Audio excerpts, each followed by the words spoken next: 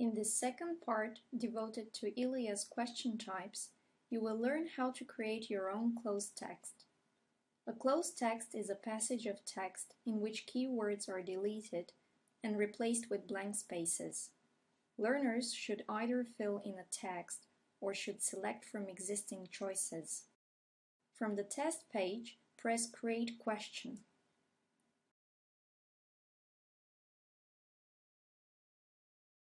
Then, from the Question Type menu, choose Cloze Question and press Submit to add the question to the test.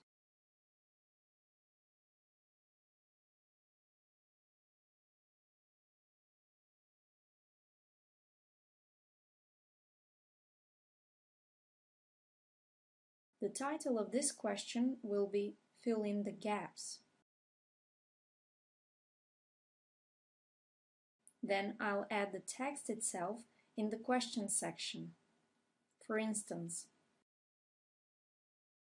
the following criteria have been put forward to distinguish inflection from other morphological processes. After the colon, I'll add the blank spaces, which the students should fill in.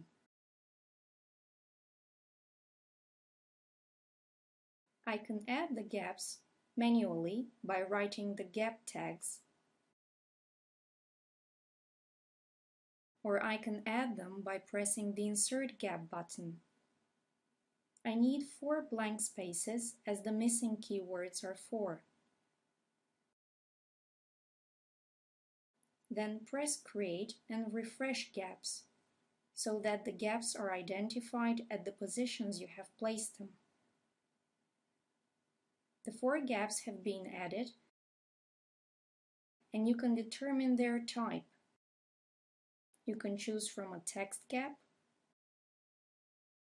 a select gap where you can choose from options or a numeric gap. Mine will be text gaps.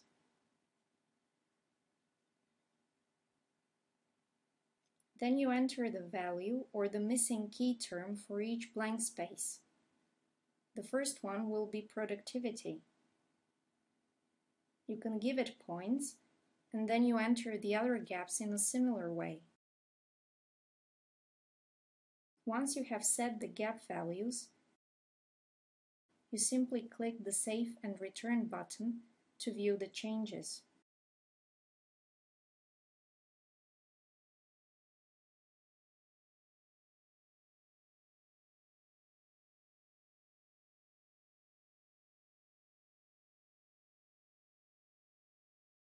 If you're not going to add or edit the question, you press the Finish Editing button.